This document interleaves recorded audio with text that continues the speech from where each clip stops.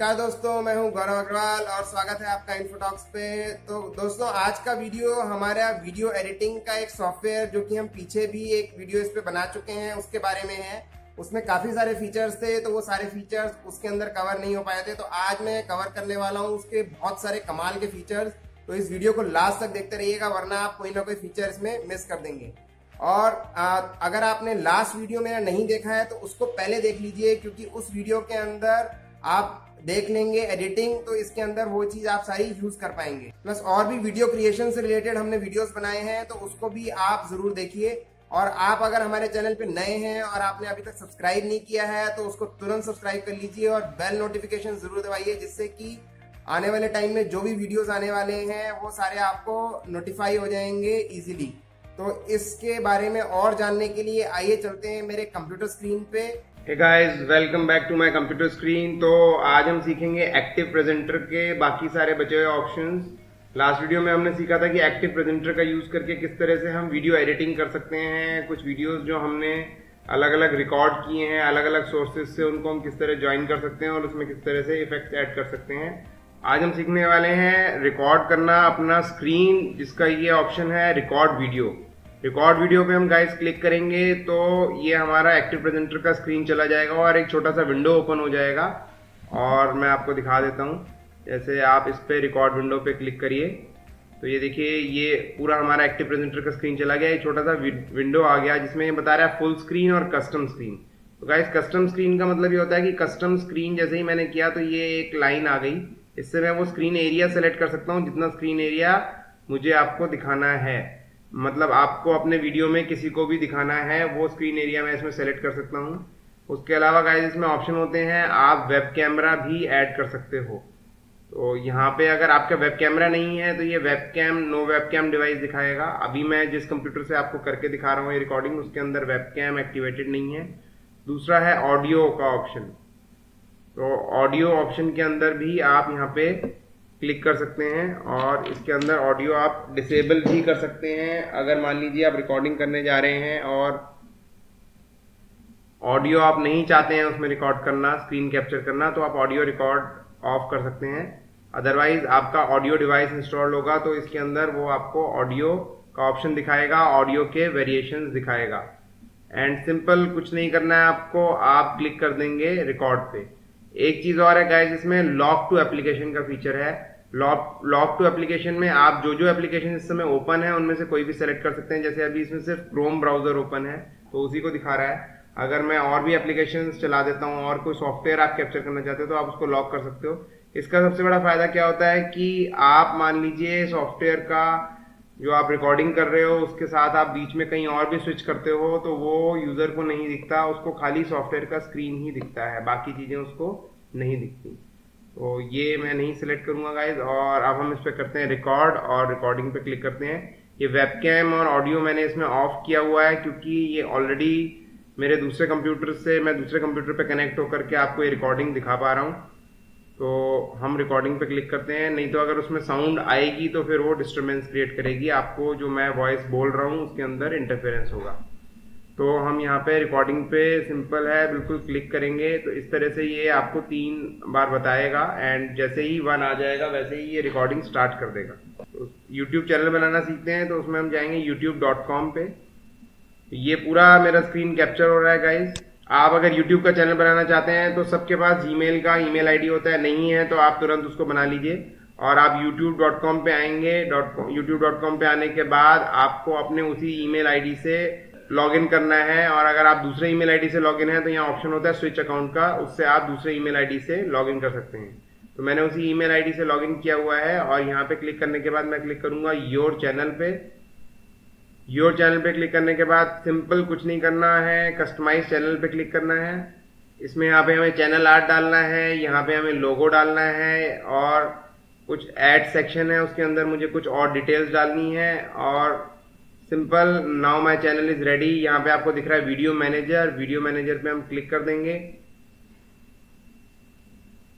Guys you are ready to upload your video on your new YouTube channel तो आपने देखा कितना simple है यूट्यूब चैनल बनाना। तो गाइज़ इस तरीके से हम किसी भी चीज़ की रिकॉर्डिंग कर सकते हैं। जैसे मैंने आपको अभी एक यूट्यूब चैनल बनाने की रिकॉर्डिंग दिखाई, उसी तरह से आप किसी सॉफ्टवेयर की, किसी, अगर आप कोई ट्रेनिंग सेंटर है, आपका आप कुछ कंटेंट पढ़ाना चाहते हैं तो आप उसकी पावर पॉइंट की स्लाइड दिखा सकते हैं, आप इसके अंदर वर्ड नोट दिखा सकते हैं नोट पैड दिखा सकते हैं anything you can show and teach through this and you can create a recorded video और आप अपने ट्यूटोरियल्स बना सकते हैं।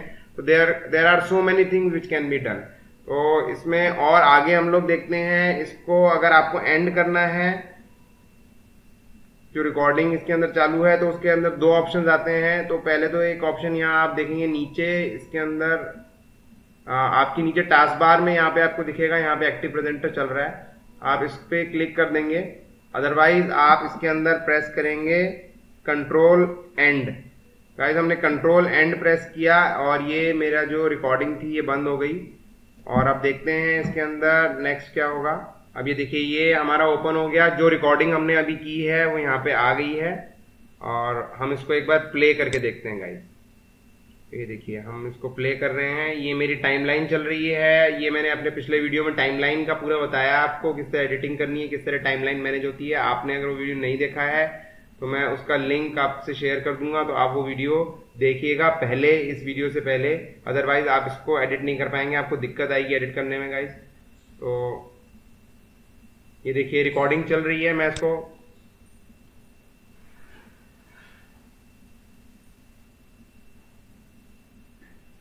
तो गाइज़ आप देख रहे होंगे कि यहाँ पे ये हमारी रिकॉर्डिंग है, जो अभी हमने यूट्यूब चैनल बनाने का एक छोटा सा आपको वीडियो बनाया और उसमें दिखाया। तो इतना सिंपल है, इसको रिकॉर्ड करना। उसके बाद आप इसको जाकर के यहाँ से सेव कर लेंगे। सेव करने के बाद मैंने बताया है कि किस तरह से हम वीडियो को एक्सपोर्ट करते हैं। उसके लिए एक्टिव प्रेजेंटर का जो मेरा पिछला वीडियो है, उसको आप देख लीजिएगा ज़रूर। उसमें मैं इसमें ज़्यादा डिटेल्स में नहीं जाऊँगा, क्योंकि इसमें हमें और भी चीज़ें कवर करनी है। तो likewise we can record our screen और इसके बाद जो रिकॉर्ड होकर के एमपी फोर वीडियो आता है, उसको आप और भी दूसरे वीडियो के साथ मर्ज कर सकते हो। ये भी मैंने आप लोगों को उस वीडियो के अंदर दिखाया है। तो लेट्स मूव अहेड और भी इसके अंदर ऑप्शंस हैं जो हमें देखने हैं तो हम उन ऑप्शंस को देख लेते हैं गाइस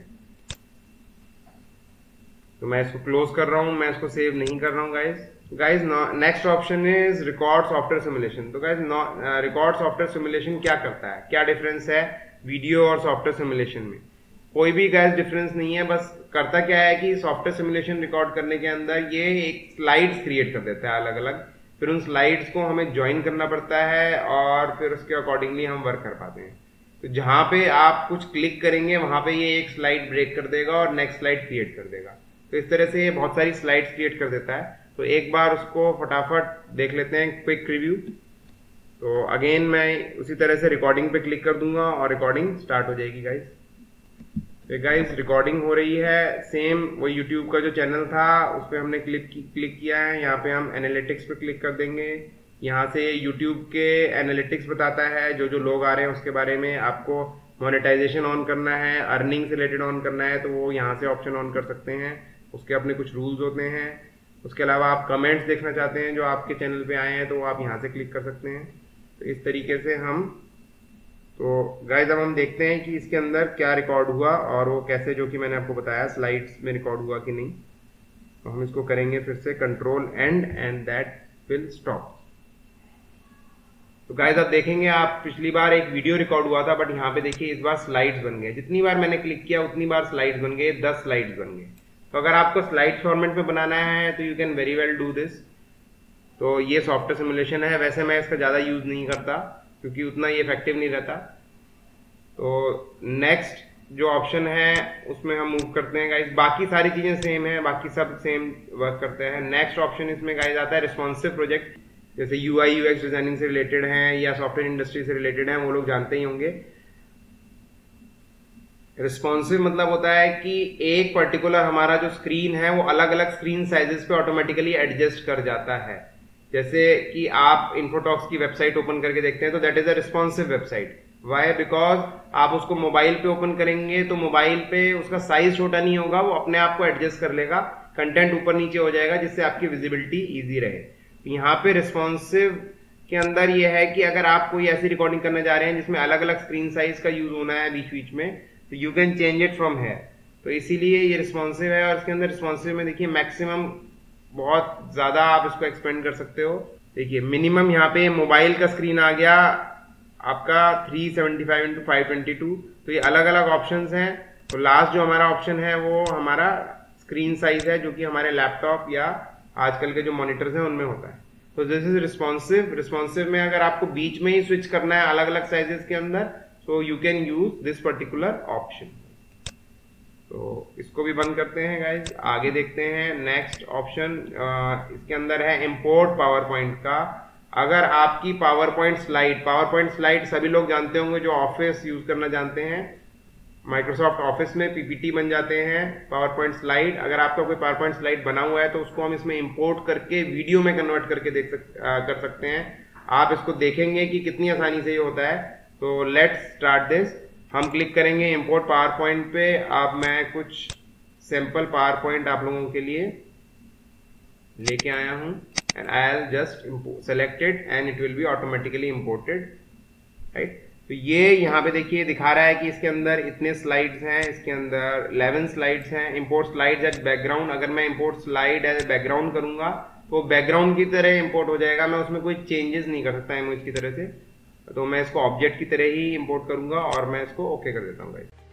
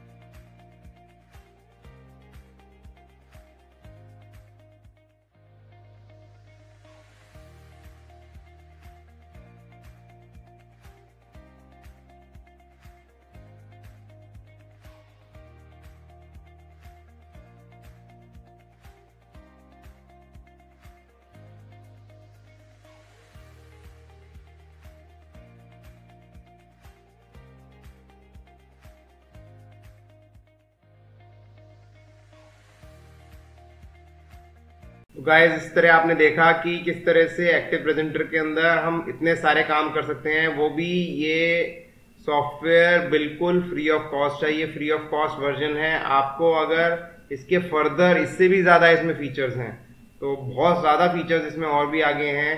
उनका अगर आपको यूज़ करना है तो आप इसका पेड वर्जन लें। अदरवाइज़ जितनी चीज़ें मैंने आपको दिखाई, इसमें ज़्यादातर चीज़ें कवर हो जाती हैं।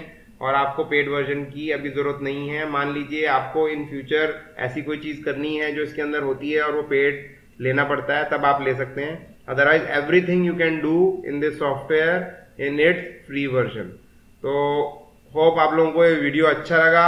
अगर अच्छा लगा तो उसको डेफिनेटली लाइक करिए और शेयर करिए ज़्यादा से ज़्यादा अपने फ्रेंड्स से, जिससे कि उनका भी इसके अंदर बेनिफिट हो सके। और अगर अभी तक आपने हमारा चैनल सब्सक्राइब नहीं कराया तो तुरंत सब्सक्राइब करिए बिकॉज़ और भी वीडियोस मैं लेके आने वाला हूँ वीडियो सीरीज़ के अंदर, और भी काफ़ी काम के वीडियोस मैं लेके आने वाला हूँ। और अगर आप सब्सक्राइब कर लेंगे और बेल नोटिफिकेशन पे क्लिक करेंगे तो आपको उस वीडियो की इन्फॉर्मेशन इमीडिएटली मिल जाएगी, आप उसको मिस नहीं करेंगे।